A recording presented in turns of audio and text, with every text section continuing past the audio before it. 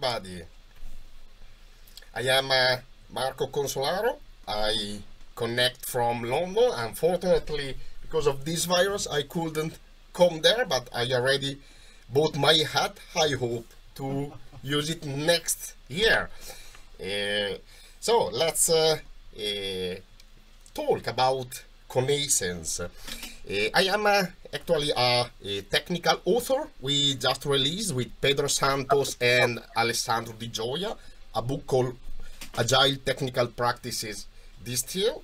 Uh, we recently won an award from Book Authority as Best New Continuous Integration Book to Read on 2020.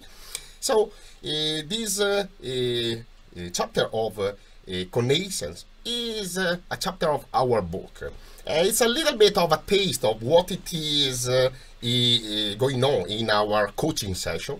In effect, I am a technical coach and we already launched a, new company with my co-author Alessandro Di Gioia. It's called Alcor Academy. And this is uh, a little bit what happened in one of our uh, lessons. So let's uh, carry on.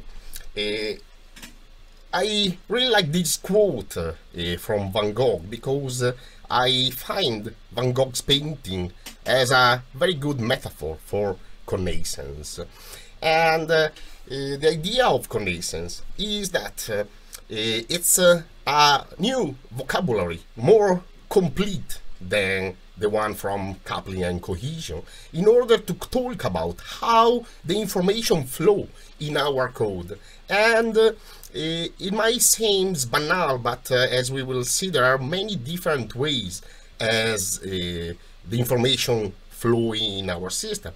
And this uh, is something that the concept of connascence express really well. It's really like when you look at a Van Gogh painting, if you have never seen it in a museum, when you go really close to the painting, you really see the technique of the painter. And you can't really realize what is the main design of the painting. You see just a little bit of color altogether. But when you go back then you see that these little colors are meant to give the main the whole idea of the paintings. And connascence works uh, in exactly the same way.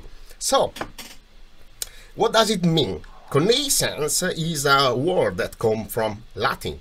It means uh, co and nations. Co means together, and nations is from nascentem, which means arising young, and is present participle, participle of nasci, which means to be born.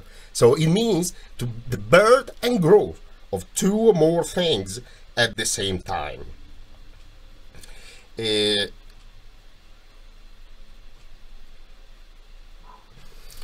so two or more elements uh, are connascent and they can be anything. Fields method classes parameters variable are connascent if a change in one element will require also a change in the other. So it's very similar to the concept of coupling but it's way more wide. It uh, basically gives a taxonomy in three different dimensions there is a dimension of degree that uh, shows the size of the impact of a piece of connascence. There is the locality, which uh, analyze how close or far are the two uh, entities in the connascent relationship. And then there is the strength, that it is about uh, how likely it will require compensating change in elements and how hard it will be to fix it. And the strongest, uh, uh, the stronger the kind of connascence, the more difficult it will be to fix it. As far as the strongest uh, form of connascence will require in the design of the system, so they will be really difficult. So, in uh, three these three dimensions, we actually have a clear direction of refactoring because if we have a high degree, we need to try to make it low. If the locality is apart, we need to try to make it closer. If the uh, kind of connascence is really strong, we need to transform it in a weaker kind of connascence. It's almost always possible. So, I know what uh, what you are thinking if you are developers, you wanna see code, right? Okay, let's go. So, uh, here we can see uh, a, a, little piece of code, right? Uh, let's uh, analyze this code. Unfortunately, the uh, I meant to uh, show some transition in this slide, but we can analyze this code anyway, right? So what uh, what are the uh, pieces uh, here of connascence? If you follow the colors and you see there is an hour, a minute, a second, this class is a class called time, so it represents some time, right? And uh, here we can see that uh, if we look at the hour variable, if we change the hour, and let's suppose we uh, call it hour 2 on the top, in order for this code to work, we need to change that uh, everywhere in this piece, following the pink uh, design. And the same is for minute, the same is for second on the parameters on the top, but the same is valid also for the three parameters in the constructor method, right? This is the concept of connascence of name. And uh, there is another interesting connascence in this slide. This is the same piece of code, but if we focus on the type, we see that if we change the type of our parameters, uh, let's say we uh, change the hours to be a float instead of an int, we need to change it also on the type in our field on the top right? And so on for minutes, and so on for seconds. This is the concept of connascence of time. And uh, connascence of name and time is basically the uh, good part of connascence, right? Here is a slide with the uh, um, uh, classification, how weak or strong the kind of connascence are, and we see that type and name are weak form of connascence, are the good kind of connascence, is basically uh, all, we should uh, find all connascence of this kind, right? Uh, and that's, that's the good part. The problem is that it's not always like this, as we can see. So, let's see a different class, a class called notificator that sends an email, right? And receive in the send email method three strings, right? The problem here is that uh, if we see uh, the uh, last line of code here, it's the line of code of when we are going to call this method. And we see that we have the first string, which uh, is the recipient. The second string, it is the sender. And the third thing is the message. We can't really identify uh, what is the recipient or what is the sender in the moment we are writing the send email we are consuming this method we don't know really well what is what because the first is one the second is one there is a relationship between the position in the method call. and this is connascence of position. It happens when multiple components but must be adjacent or must appear in a particular order, often when passed with a positional structure like an array or a tuple. Right? How bad it is? It is quite bad. It is the strongest of the static kind of connascence and uh, it basically hide the meaning of a parameter behind its positional uh, order in some structure. And this is particularly bad because it doesn't express the meaning, right? So how can we fix it? Uh, well, we can fix it, transforming it into connascence of name and time. So basically we can create uh, three types, one to represent a recipient, one to represent the sender, and one to represent the message. And here we use our type system to give, to express a meaning for these three parameters. And so we don't rely anymore into the positional place inside the method. Uh, an alternative to do this, we might even do something better if you want. We can create a notification class and then using a builder-like uh, structure, we can add the to, from, and with message as method of our notification. Uh, the two methods uh, are equivalent in terms of connections. The two solutions are equivalent in terms of connections because uh, we transform the connascence of position in connascence of name and type. Let's see how the degree might impact the uh, connascence of position. Let's see if we have a, a order processor class with a, a, process order and we have two overload for this process order.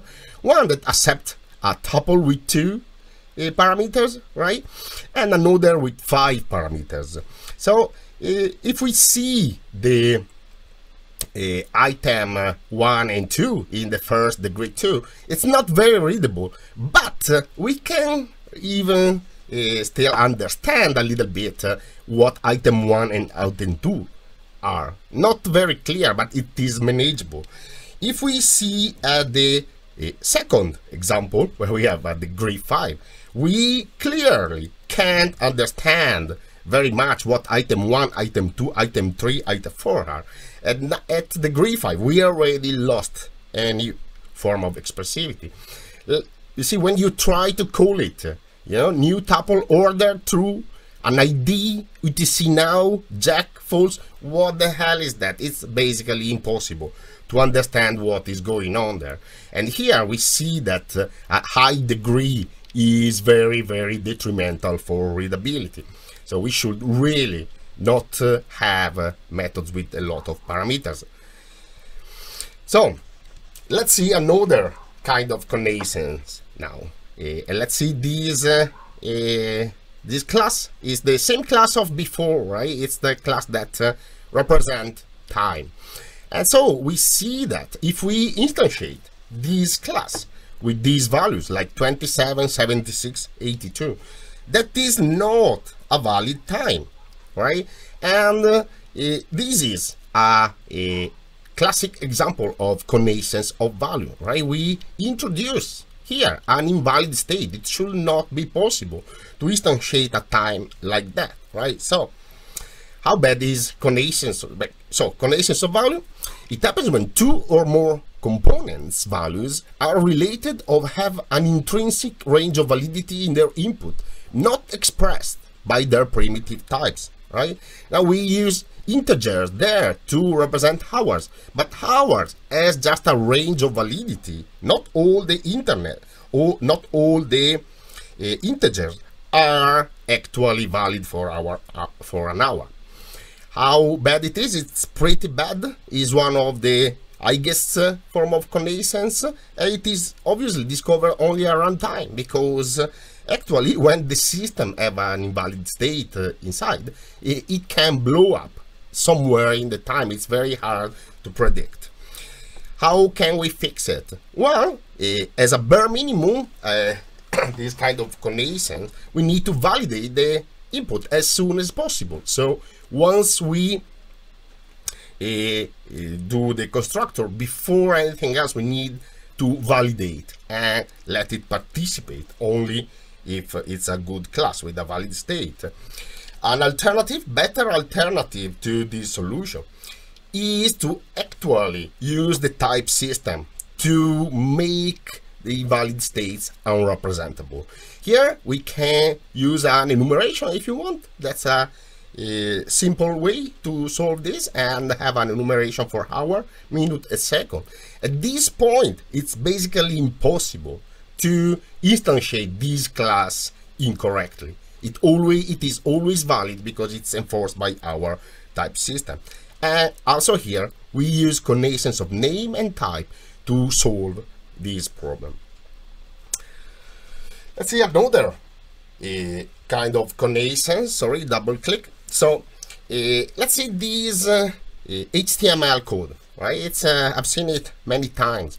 Right, and we have a checkbox where uh, we are uh, looking which uh, transport people have used to go to work, right? If it's a, bike, we give a, value of 1 to the checkbox. If they click car, we give a value of 2. If they click train, we give a value of 3. If we, they click bus, we give a value of 4. right? And then somewhere in the controller, we will have a, a code, uh, similar code like that, where one is gonna be a bike, two a car, three a train, four bus, right? We basically here take an arbitrary value of one, two, three, four, and assign a meaning to that arbitrary value, right? One means bike, two car, three train, and so on. This is called connascence of meaning or convention. And uh, it happens when two or more components must agree on the meaning of specific values, hence using a convention.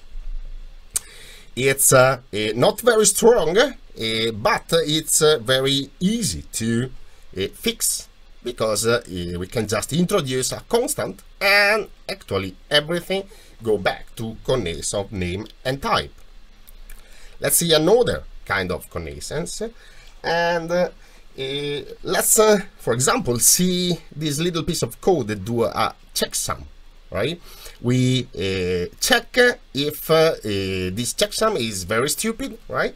It's check if the sum of the number of of the digits of a number is divisible by 10 and so here in this particular example we can see that we will have a method to add the checksum and we will have another method that uh, is used to check if the checksum is correct. And here, if we code it like that, we see that we basically use this algorithm in two different places without making really explicit. So if we have, a, if one day, for example, we want to say, well, let's do it uh, not uh, a modus 10 but modus 100 for example. We need to change the code into different places in order for it to work. That's because we uh, use an algorithm without making it explicit. And uh, this is the connascence of algorithm. When two or more components must agree on using a particular algorithm and uh, also this one is uh, between connascence of meaning and connascence of algorithm uh, as a static form of connascence and uh, it's uh, pretty easy to fix. Also here we need to encapsulate the algorithm into its own method. And if it's called from uh, anywhere in our system outside uh, this class we can even encapsulate in its, in its own class and uh, actually doing like this we transform it in connascence of name and type and so we solve it. So let's see another type of connection this type of connection is very interesting. It's uh, uh, uh, let's see this code right? We have a, a, piece of code that send receipt right? We have a receipt sender. We have a, a way to retrieve the id and then we iterate through the uh, IDs and uh, basically first we send the receipt to the customer and then we archive it right? Clearly here we cannot invert these two lines. If we archive it before to send it we are gonna have an error. But there's nothing that uh, tell the programmer that that is gonna happen right if we invert these two lines well this is called connascence of execution order. It's something that is happening a lot in our code, right? It happens everywhere because uh, it's uh, about coding, right? We need to do things in a certain order. The problem here it is when it is not clear for the developer what is the correct order that we have to call the methods to a class.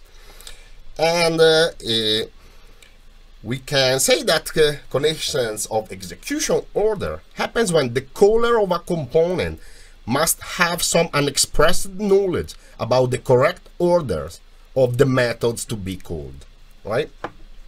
And this is something that is not uh, as easy as the other kind of connections to fix.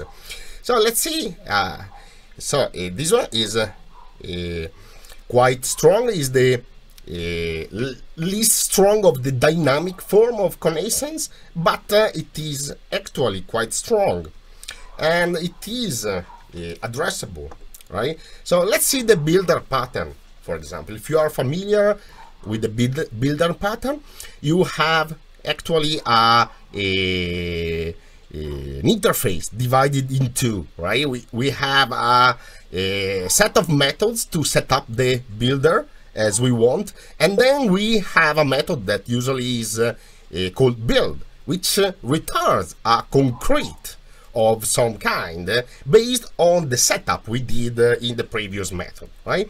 It is uh, connascence of execution order because we need to call the method to set up the builder before calling the builder uh, method. And it is uh, expressed by convention, right? It's how the builder pattern is. But uh, is it possible to make it explicit? Can we do that? Can we make it impossible to call the build before uh, call the method to set it up? Yes, it is possible. Let's see this. So we can segregate the interface, for example, right? If uh, our builder builds car with brand and build cars with engine, will build cars with color, and then build the concrete. We can chain the interfaces in the way that uh, uh, we uh, suggest to the user the uh, steps and the order of the steps we need to do in order to set up our builder. And when we call it, it's uh, actually uh, giving us something interesting. This is how the builder will become, right? It will inherit all these interfaces we can use a factory method to force the uh, first two instance of the builder to come out as an I build cars with brand and then gives the uh, developer a very easy life when it's time to use it because uh, we can see that we can say new and there is a build cars with brand so it has only the with brand method and then that return a I build car with engine, which has only with engine method, which is which returns an I build card with color, which has only with color method, and then finally return an I build car that has only the build, which returns the concrete. We basically use interface to transform that uh, type of connascence in connascence of name and type and actually remove completely connascence of execution order. Uh, another similar type of connascence, but uh, uh, the, this is not really related to the order of execution, it is related to a certain amount of time, right, that we need to wait before doing something. And uh, it happens all the time. This is actually a code from uh, a product. This is production code I wrote uh, a while ago, and obviously to test that uh, a message bus has been sent, uh, how can you do? You need to wait some time in order to give the uh, time in the integration test to uh, flow the message in the queue, right? If you check it before it's received, you can't find the test fail. So you need to wait some time, it doesn't feel right, right? When you have something like this, okay, it's like, mm, it doesn't feel like because, you know, sleep 1000 milliseconds it's like why 1000 it, it shouldn't be it feels bad but there's not a name right? There's not a name to uh, tell why it's bad. It just feels bad. Well now uh, there is a name for that. It's connascence of timing. So that's uh, a very good way to express why this is not good and uh, usually it's not even easy to uh, solve it uh, so connascence of timing happen when the success of two or more calls, sorry, uh, when two or more calls depends on the timing of when they occur. Uh, it's uh, a very, very heavy form of connascence just before connascence of, of value on the top. And uh, it's uh, not very easy to fix, right? Here, what I have done is basically raise an event on the message handler when the uh, message uh, when it receive a message that uh, allows us to do not have to wait uh, for the time to pass to check the happy path because we can listen to the event and react to the event without wasting precious time uh, to wait for the message to arrive.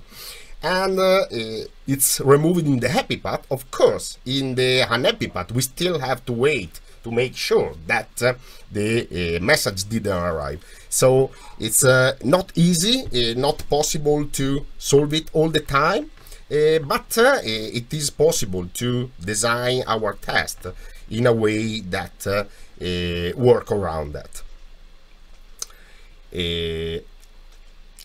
let's see another a very strong form of connascence. Uh, uh, let's uh, see if this example we have a global counter and basically it has been implemented in a singleton pattern or anti-pattern. I don't want to go, I don't want to open that uh, crazy discussion.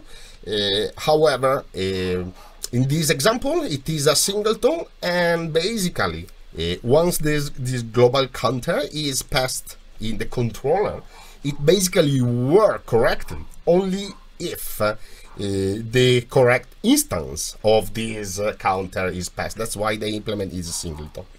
It's not a very good idea because this is connascence of identity, right? And uh, it's uh, basically it happens when one or more components must reference exactly one particular instance of another entity to work. So we are coupling here with an instance and uh, it's uh, very strong. It's the strongest form of uh, dynamic connascence that we find in our code. There is another one later that we introduced. But uh, how can we fix this form of connascence? Well, it's not uh, very easy. Usually to fix this form of connascence, it's a matter of redesign the system. For example, in that case of the global counter, we should really use a external uh, system. Maybe we can have a, a bus and send messages and have a component that consume messages in order to find uh, counter. And that uh, will be uh, something that solve this problem and dissolve this problem redesigning the system. Let's see. Now uh, one second I need to go back okay let's see now uh, another form of connascence now uh, here the transition of my slides uh, are a little bit uh, hiding the message. behind this crazy puppet there is works in my machine. And this is a story about another form of connascence that we identified, which is, in our opinion, more uh, problematic that uh, connascence of identity. And we call it connascence of manual task. Uh, basically, in one team a couple of years ago, I implemented a new message for our system. We needed to raise and consume a new message type for for a system for a distributed system, and so it it was working fine in my machine. But when we put the code in the continuous integration environment, it, uh, it bombs, it blew up the integration environment. And so we were really puzzled because I was like, why, why the integration environment uh, don't work? It's everything is fine. The test environment works. So it's uh, it doesn't make sense to me. Uh, and for no one in the team, it makes sense. And so the uh, most experienced uh, man in the team, he was here for many years, was like, well, let's uh, let's look into it. So digging into it, he, he basically had to open the building script. And that's where he realized, he was like, ah, yes, we need to change every time we have a new message. We need to add a setup in our building script. And so basically there I was like, no way, right? They were able to couple themselves to a manual test to do in the building script. So every time they wanted to uh, use a new message type. They had to actually add a step in the building process. Imagine if you do that uh, uh, every day. It's uh, it's something that you don't want to do, right? And this is, in our book, we call it connascence of manual task, which happen uh, when expanding the functionality requires some tasks to be executed outside the code base. So they are manual in our point of view. This is the strongest form of connascence for us because it uh, is basically going against all what we do. We are essentially automate uh, things. We are automate manual things for our customer, for our other department of the company. We try to make the life easier in order to automate the tedious, uh, repetitive tasks. And so we need to do it for ourselves in the first place. So, add enough manual tasks and teams will spend more time trying to make things work, fidgeting with scripts and configuration, than actually focusing on writing well-designed code. This is a quote from our book. So, uh, the conclusion. Well, it's all about the design, as my uh, co-author Pedro Santos says. And, uh, you know, Claude Shannon said, uh, we know the past, but cannot control it. We control the future, but cannot know it. And I love this sentence from Claude Shannon. Uh, but I think that in software development, uh, it's not completely true in software development, we can control also the past. It's called refactoring. And a good design allows for more effective and more frequent refactoring. While if we have a bad design, it's gonna be harder to refactor, it's gonna be uh, less effective, and we will find in a position to do it less and less often. And this is gonna create uh, uh, problems in the wrong in the long term. So for the past, we have a lot of uh, metrics and analytics. Right? We have coupling and cohesion. We have connascence now. We have design and code smells. And for the future, we need guidance, we principles. We have solid principles. We have object calisthenics. We have four elements of simple design. These are all things that uh, we explain in our book. And uh, how does it work? Well, uh, if we look at this class, this is the last piece of code, right? Let's see. We have an order flow that have uh, an execute method that takes a long list of integers, right?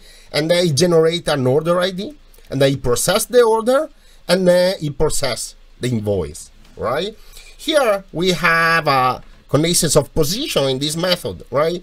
Which is a long parameter code smell then there's no single responsibility, right? Solid principle here is broken because this class says that uh, it's an order flow, but it generates an order ID. So it's uh, it's uh, two responsibilities at least. So it has a low cohesion. So it's uh, using a lot of primitives obsession. And there is data coupling in all these uh, integer passed around as parameters. If we see the second part of the class. Now we fix connascence of position using connascence of name and type, right? In this way. And fixing connascence of position. Fix, like magic, all the other problems here, right? We fix the parameters list, the code smells, we fix solid principle, we fix, we fix uh, coupling and cohesion. So why it is that? Well, because Everything is connected. Connascence influence cohesion, which influence coupling, which influence connascence. It's basically all the same thing. These are just concepts that allows us to understand problems with our system because it has high entropy. If we consider entropy as the degree of disorder in a system, we can postulate that connascence coupling, cohesion are goods for entropy. And the goal to have an effective system is to minimize it. So, here I close. Why should we learn connascence? Because uh, continuous attention to technical excellence and good design enhances agility. What is this? This is the ninth agile principle, which has been unfortunately forgotten a lot. So learn the rule like a pro so you can break them like an artist. Thank you. Не увидите меня в эфир пока. Сейчас я... For the... For... For this event, I set up a special 50% discount on our book. So if you do a screenshot here, you can go on Leanpub uh, with that uh, link and uh, you can get uh, uh, our book uh, at 50% discount just for CodeFest. Thank you.